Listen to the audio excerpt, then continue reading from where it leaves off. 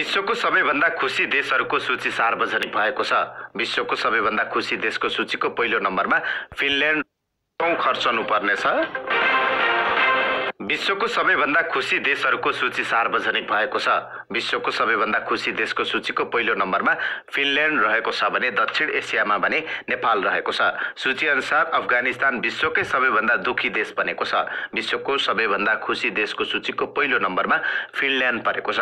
World happiness report दुई हजार बाइसले फिनल्यान्डलाई विश्वकै सर्वाधिक खुसी देश घोषित गरेको हो।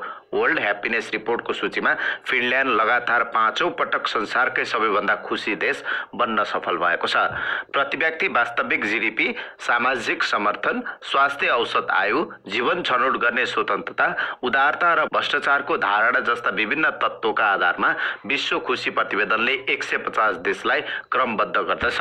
सूचीमा डेनमार्क र आइसल्यान्ड क्रमशः दोस्रो र तेस्रो स्थानमा छन्। त्यस्तै स्विजरल्यान्ड चौथो स्थानमा छ भने नेदरल्यान्ड्स र लक्जमबर्ग क्रमशः पाँचौँ र छैटौँ स्थानमा छन्। स्विडेन नर्वे र इजरायल क्रमशः सातौँ आठौँ र नवौँ स्थानमा छन् भने न्युजिल्यान्ड दसौँ स्थानमा छ।